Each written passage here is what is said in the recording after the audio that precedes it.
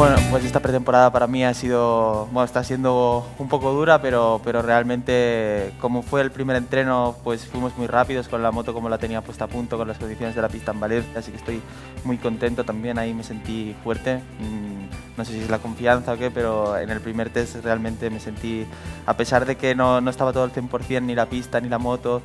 eh, me caí, pero volví a salir, estaba valiente, estaba fuerte, estaba peleón, que esto es lo importante es uno de los puntos que a lo mejor me faltaba a veces.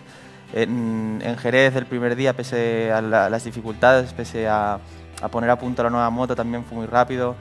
El segundo día también más rápido y el tercero aún más, así que, muy contento por la evolución. Eh, pero bueno, eh, ahora te quedan los, auténticos test que son que todo el mundo va a ir igual.